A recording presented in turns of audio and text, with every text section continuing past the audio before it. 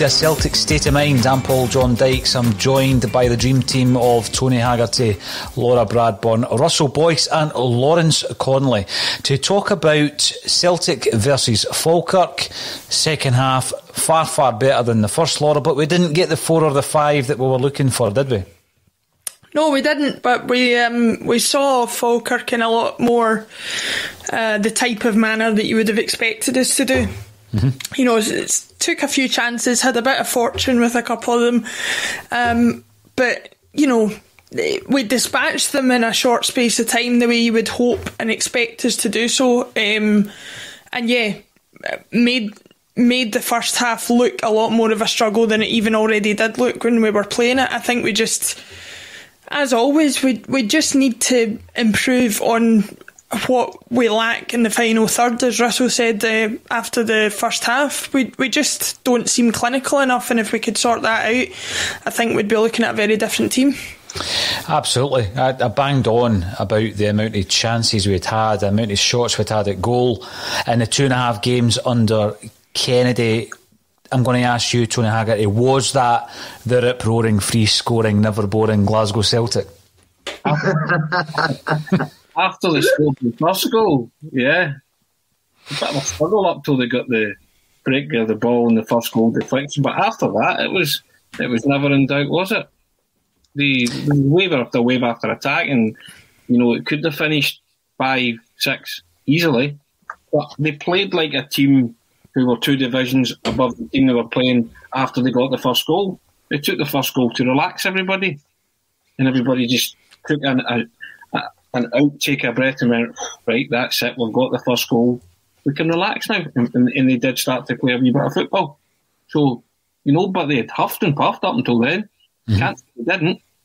You know, and I, and I, and I posed the question at half time, what if it ended 1 0? And people said that that'll never happen. But that it was a worry, a genuine concern that we weren't being clinical, as Russell said, and they hadn't scored. But once they scored, they just seemed to breathe after they scored. They really did, and they started to knock it about. And as I say, it could have been a lot more.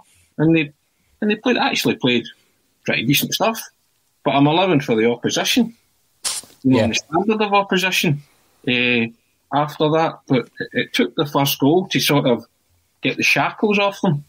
If you know what I mean. I mean, kind of, I don't know, almost in a fear factor, not not necessarily fear of fault, but just a fear to express themselves. I think playing within themselves a wee bit.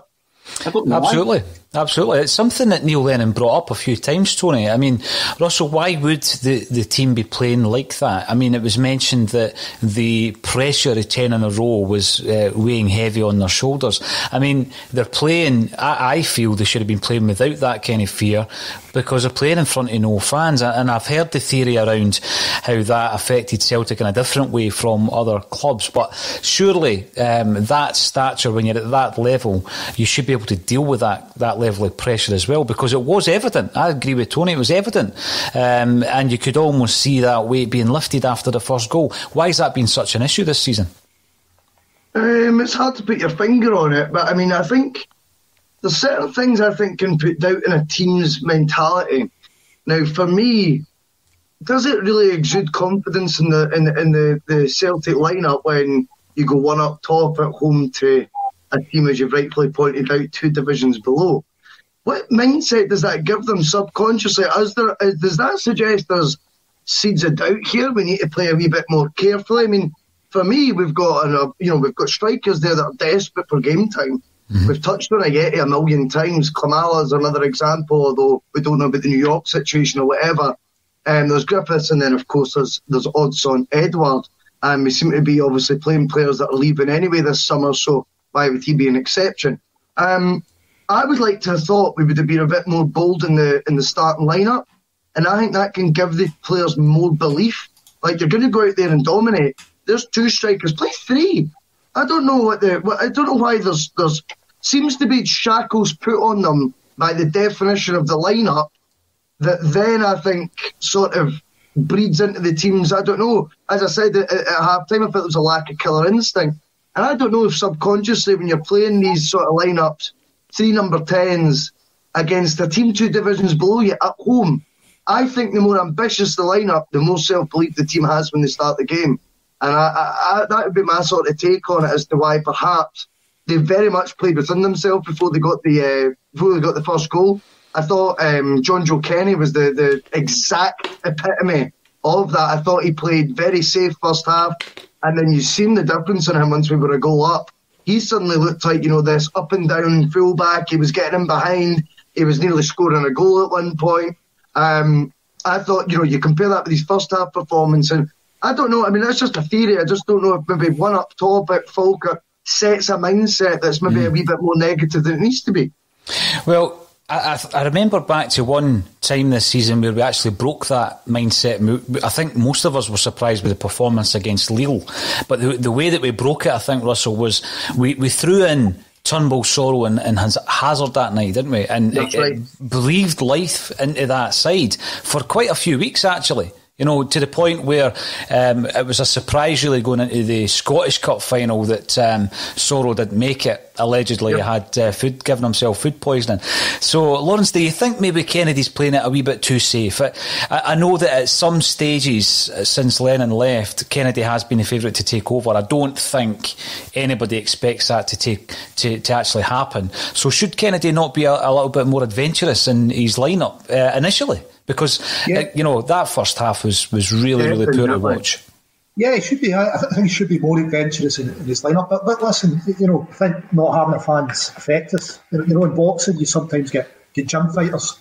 You can do it when no one's about, but put in front front of a crowd, you go to pieces. That was always my problem. True. Always my problem with the football, Lawrence. That. well, well, that was it. You know, I, I saw that when uh, the old firm greats got up to five people watching. They went to pieces but, but, but, wait a minute before we move on for that, Lawrence. Before we move on for that, were you at the game where I snapped Alex Ray just to try and get a wee bit back here? Were you at that game? I've never seen you that photo you took, mate. But. Uh, I did snap Alex Ray, by the way, for all the everybody tuning in, um, just to get a wee bit of kudos back from that, Lawrence. No, no, what he did, which was uh, appreciated by some of us watching but but not by Alex himself, aye, because I think well, he wanted a square goal. Anyway, yeah, sorry, back to you, Lawrence. Back to you. And, and what about the ref man? He seems to be uh, by this dyscalculia that's broken out the south side of Glasgow. You know, he's we're half a yard outside the penalty box with a free kick, and he's put them level with a penalty spot. you know, these things aren't even difficult, and he done the same in the first half it's all about consistent. It's all about consistency. I was going to come back to you on the uh, the officials' performance, Lawrence, but seeing how you brought it up, um, but you know when we're talking when we're talking about uh, the strikers, Russell, you brought up the point, and James comes in on the YouTube channel. James Pearson, thanks for joining us. Without Eddie, next season we think, and I think we all fully expect Eddie to believe in Celtic Park. We are in dire straits up front. No one really taking their chances this season by the scruff of the neck. A good few have have players. Listen, th- this this for me, if you go back to the beginning of the season, we were in a situation where we had more or less seen the partnership of Edouard and Griffiths turning round last season's campaign. So I think we were going into this season, we had backup in the likes of Patrick Klimala, and then we had strengthened it by bringing in a Swiss internationalist who hadn't uh, performed that well for West Ham, but had done so for, for Ball previously. And th- at that point, I thought we were in a good position. You move forward to, to April, and I agree with James. I think we are in dire straits because when you're given chances to the likes of Leigh Griffiths, as we did tonight, albeit only an hour, Laura, um, I'm not getting enough to suggest that we're going to be safe next season.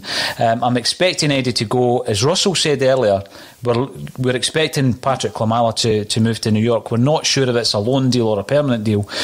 Bayo is playing football in the second tier of French football. He's never going to be a Celtic striker. And it certainly isn't working out for Ajeti. So you're looking at that scenario. If we do lose Eddie, and that looks likely, we need to bring in at least two strikers. Yeah, it goes back to what we were talking about um, at half time, you know, the, the whole being excited with the transfers when they did come in because all of us were sitting thinking, well, we've got two good strikers in Eddie and, and Griffiths, and we've brought in Klimala, who's a young player that, that obviously has potential, or we assumed must have had potential, and Ajeti who who has you know a proven track record elsewhere, and you're thinking four four strikers, you know that's what any top team should be aiming for, and like you say, we're we're in a situation where we we might have none from next season. I think Griffith's time at the club is absolutely up tonight. Proved that without a doubt. Eddie, I don't think we're going to have a choice in the fact that we lose him. Klimala looks like he's on his way out. And Ajeti, I have been. I've been one of the people saying, give him time, give him a chance. He's not had enough games and whatever. He got half an hour in a game we were dominating against Falkirk, who are two divisions below us, and couldn't get a sniff at goal. I think he had one sort of a half decent chance that he dragged wide of the post if he can't if he can't score in those circumstances, then I don't I don't see him as a particularly reliable option for us going forward. So the idea that you have to um, bring in two strikers in the summer is going to be a major issue. Not only because you can never guarantee that the purchases you bring in are going to be successful, as we've seen, but you're playing in a situation where they're the most expensive and sometimes least amount of value in the market. You're you're paying top dollar for strikers over any other position. So so you know we're we're, we're kind of hands tied behind their back as far as that's concerned. And I don't even I can't even offer a name of somebody coming through the ranks that you might be able to stick in who who I've heard anything decent about from the youth teams. So it's not even as if we've got that option either. Colin, for the price of Klimala and Ajeti, mm. you could have had Ivan Toney. Mm-hmm. Throw, throw Bayo in there as well because Bayo was a couple of million pounds. Well, see, no, you're on those three, right? You could have had Ivan Toney. See, if you're a goal scorer, you're a goal scorer. You score goals at any level. Nobody, nobody really heard of Gary Hooper when he came north of the border, but he scored goals. You know, so when you score goals, you'll score at any level. And people saying, "Oh, I'm not paying ten million pound for a guy that's playing the third tier of English football." That's the market you're in. If you really want to sign a player like that, you're going to have to pay that kind of dash. You know, yeah. you can pay that up over a period of time. You know, taking it up to 10 million or whatever, as the deal turned out to be when he went to Brentford. So mm. this guy is lighting the place up at Brentford.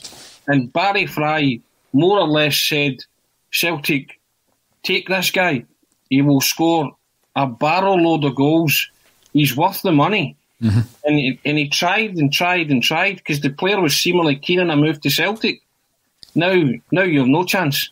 You know, so you have to turn around at some point and say, we need a goal scorer. This guy's a proven goal scorer at a certain level. But see, mm-hmm. if you're a striker, you really need to be poor to fail at Celtic. You really do. Right? Or just it doesn't happen for you. And Bill. it, and we've signed two guys that it's not happened yet. Now, you can argue they've not had enough game time, but I've not seen enough in either Ajeti or Klimala to say to me, they're the man who I would trust going forward with any manager, never mind Eddie Howe. Uh, there's not enough in there, and the, those two players to say to me, they've got a killer instinct. So you uh, have to turn around and say sometimes, do you know what? We made a hash of that by not signing Ivan Toney when we could have got him for an optimal price. Well, what you're saying there, Tony, uh, I think it's exemplified by the fact that we created 60, 62 chances. 62 chances we created in two and a half games. So if you're a goal scorer, you're going to you're going to score goals within that the realms of that 62 chances. You're going to, I mean, not all of them are falling to the same player, but you're going to score goals in a situation like that if you're creating that number of chances in two and a half games. And if you're a striker with repute like Ivan Toney looks like he is, then he mm-hmm. would have he would have taken a fair percentage of those chances. Yeah. Now, some some might say that Klimala's not had a decent run in the in the team, but what you just said there, Tony, when you really need to count on someone and you throw them in, and he's three and a half million quid. Um, you know, when we, when we brought him in, that moment for me was the first game against Rangers this season. He led the line that day and he was anonymous, absolutely anonymous that day. And that was due to the fact, apparently, uh, that Yeti pulled out very, very late on. Ajeti was meant to be leading the line that day, and he pulled out very late on through some kind of injury or illness at that time. And Klimala was thrown in, but he was anonymous. So we're now in a situation where what do you get for your five million that we spent on Ajeti? Uh, because you know we can't really operate in that market now, Tony. Because what you get is you get a Swiss striker who barely plays and barely scores. Now, Colin Watt I've got to give him credit for this on the WhatsApp, reminded me of that conversation that Fergus McCann had with David Ginola uh, when he was up in Glasgow talking about signing for Celtic. And in that meeting was also uh, Willie Haughey. I think he was just Willie back then. He's now Lord Haughey, of course. And uh, the immortal line, but can he do it on a wet Tuesday night against Falkirk? And tonight, Laura, can Ajeti do it? On a Saturday night against Falkirk? The answer is no, he can't. No, um, and like you say, it's not for. Um, in ordinary circumstances, you might say, you know, he didn't get provided with the chances. He's a decent enough finisher, but if he doesn't get the chances provided to him, then he's not going to score. The chances were there tonight, and he didn't take them. And um, it's another situation where we have just throwing money down the drain at players of his stature and calibre who I think personally there are a lot of players, possibly himself included, who think that coming to the Scottish game is a bit of an easy payday and and uh, not too difficult, and they get up here and they get the shock of their lives, and I think he probably falls into that category. Um, and I don't see him having a future beyond this summer. The only problem we have now is can we offload him? Because nothing that he's shown this season would suggest anybody's going to be in desperate hunt for his signature either. Well, this is the thing, Russell. We've been speaking about Ajeti and Barkas because they both came in for a combined transfer fee of around £10 million. They were the reported transfer fees. How much do you get for players like this after a season we've just had if you have to offload them? I mean, if Barkas goes back to, uh, to Greece, for example, what are you looking at? Two and a half million? Well, totally. I mean, I get that point. My worry is, as well, if we do think that the Klimala thing's a wee bit lightly, Edouard, everyone seems to think, so stick on the left Ajeti and Griffiths, Ajeti, rightfully pointed out by Laura there, didn't cut the mustard tonight at all. But in actual hindsight, neither did Griffiths, to be perfectly honest. You know, the two missed chances, first half being a key point. But can you afford to let all four go? Now, my worry would be you're going to need to stick with one. Which one do you choose? And for me, the honest the honest answer is I think it becomes back down to Leigh Griffiths gets, you know, his nine lives, you know, come back into play. And he, he gets another go because he's the one you're gonna out the four, you would still think has the track record and has you know, just I don't know the, the, the knowledge of the game, the experience, the goal record, and you just feel that out of all of them, you're going to need to keep one. You can't. You, there's no way we can let all four strikers go as well. I just don't see that happening in time before the Champions League. And I think Leigh Griffiths may, by default, be yet again Celtic's luckiest squad member. I think he actually might stay on. I'll, I'll, come over to Lawrence to, to speak about that. We know his goal scoring record has been brilliant throughout his career. Even at Wolves, he's scored more than uh, a goal every two games. Yep. And when you look at the last three seasons at Celtic, for various reasons, he's averaged something like 25 games a season, Lawrence. Um, his last really um, impressive season was five years ago where he scores 40 goals under Ronnie Deila. Um, but I take Russell's point. I mean, we can't be in that situation like we're going to be, it, it would seem, in the defence where our defensive uh, lineup, without us strengthening, will be uh, Ralston, Taylor, Welsh, and Hendry as we sit here just now, if Ajer was to go. So when we're looking at the striker situation, Lawrence, uh, Russell says one in nine lives. I think he's had a few more than that. Um, if he was to go to a team like Aberdeen, I would fully expect him to score 20 goals a season for Aberdeen. Yeah, goes back to what Tony's saying goal scorer's goal scorer. Uh, you know, uh, he's got a year left in his contract. How much are we really going to get paid for him? It's got to be worth keeping a goal scorer on the squad.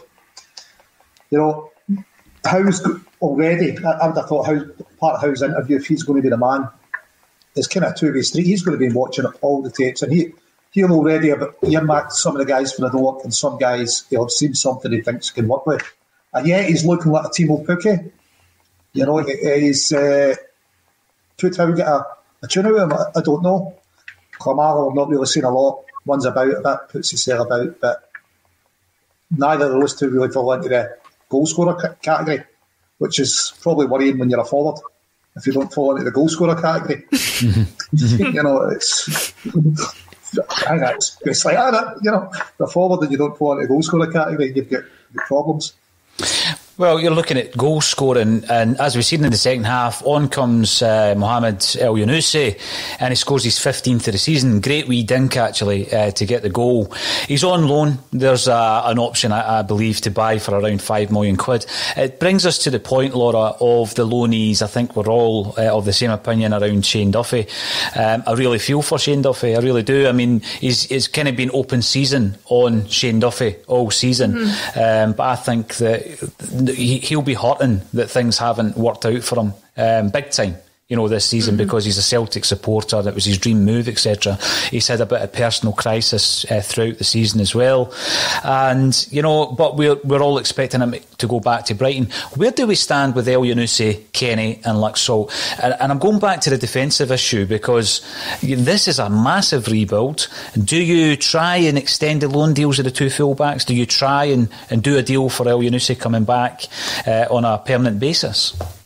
Well, I mean, it kind of it kind of expands on the point that I think um, Lawrence and Russell have made about about Griffiths, which I, to be honest, I kind of disagree with, and I, I would say the same with the loan players. Is I don't know where the desperation comes from to hang on to like kind of mediocre players just for the sake of having bodies in. Like I, say if he's going to cost five million to keep him, to me he's not done anything to suggest that five million is, is an amount of money you would want to spend on him.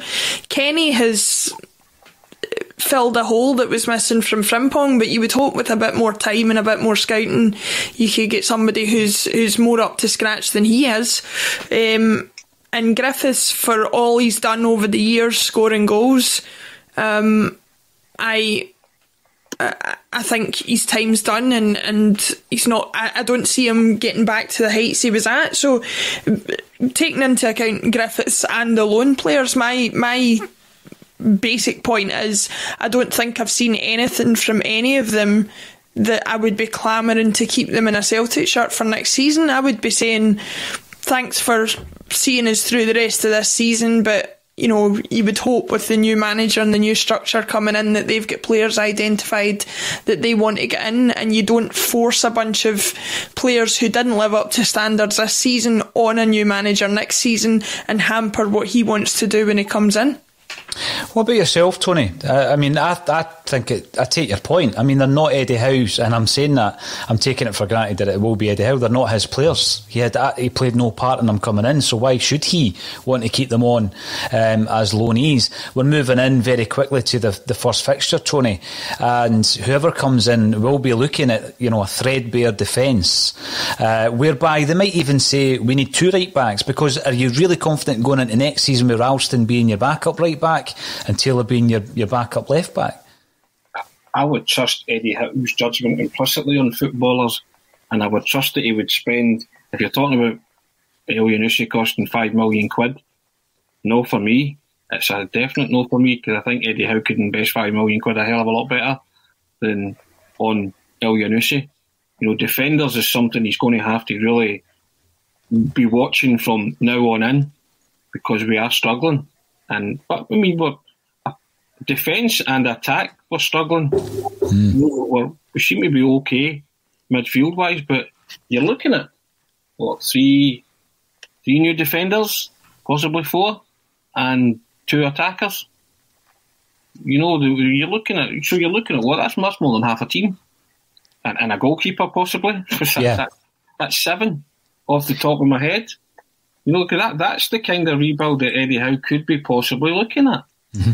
If you're not going to keep any of the loan players, and none of them have done anything that you've that's you know to, to make you think, wow, they should stay. Laura said there, Kenny's filled a hole.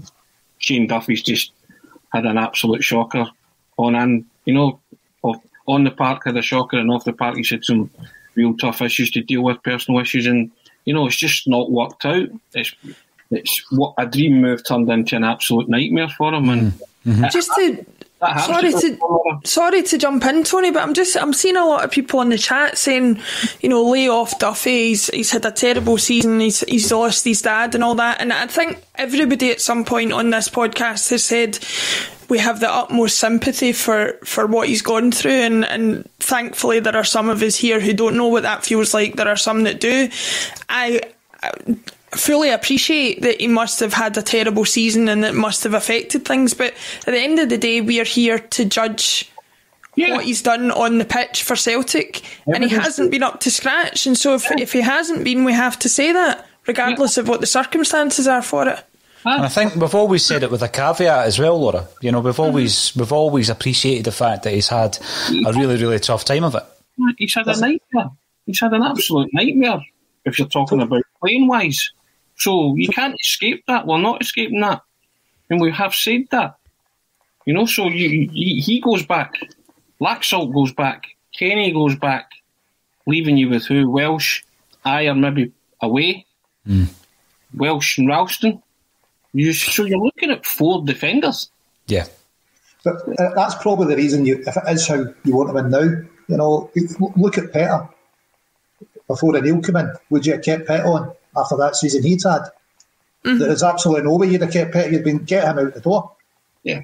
And he comes in and revitalises him, and you're hoping that whoever the new manager is can do that with at least a couple of the players, preferably ones we own, so it's not costing us more money.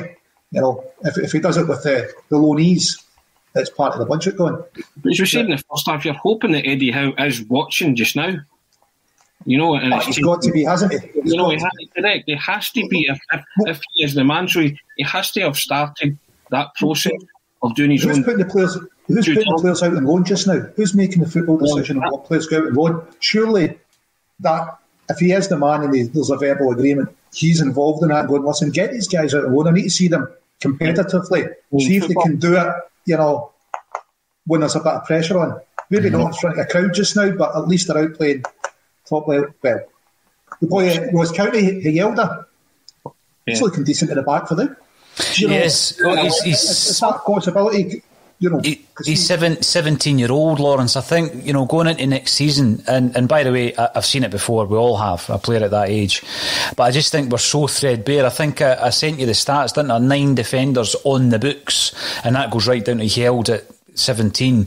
Average appearances 15, average age 21. That's how bad, if Ajer goes, of course, that's how bad it's going to be for the incoming manager. So, in terms of a budget, Tony, I mean, it's not just a sizable budget, it's going to be a massive budget. Now, of course, a lot of that, you know, will be coming in from sales of the likes of what we would expect, you know, Edouard, Christie, and potentially Ajer as well. I mean, do you reckon all three of the names uh, are going to go? I mean, because we, we're kind of half expecting that to be the case. But will anybody Ajer, for example, I know you and I disagree about this, but do you think he might say if someone like Eddie Howe comes in, maybe I should stay for another year, and part, of, you know, as part of his own development?